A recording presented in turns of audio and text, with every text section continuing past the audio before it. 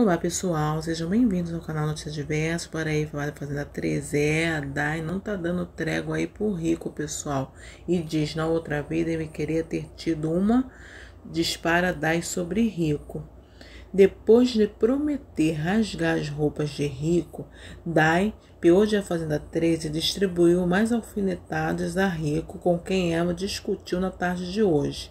Em um papo com Valentina na cozinha, a peoa criticou o Rico.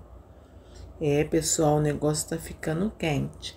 Ele está brincando com fogo. Ele não sabe. Eu estou me controlando há muito tempo. Se prepare, a guerra começou. Eu posso sair de calcinha desse programa, não tem problema. Eu não vou deixar isso acontecer porque eu vou ser seu escudo. Eu vou para cima dele para te defender. Então fica tranquila, você tem muitas chances de ir para a final. Eu não tenho, disse aí Valentina.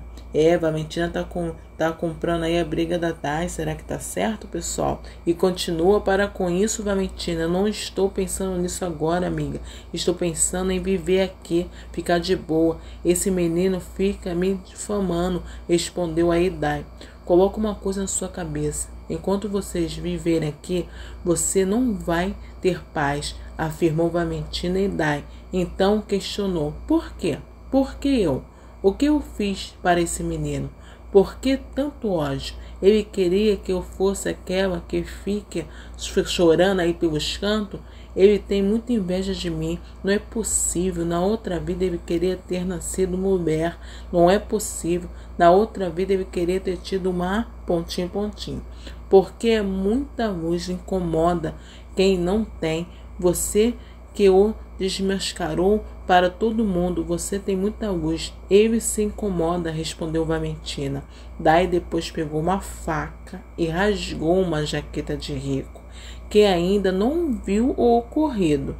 Contida aí por Valentina, Dai deu gargalhadas, tão boa sensação, disse. E aí, pessoal, o que vocês acham desse comportamento da Dai aí, né, na fazenda, né? E da Valentina aí, né? Passando pano para ela.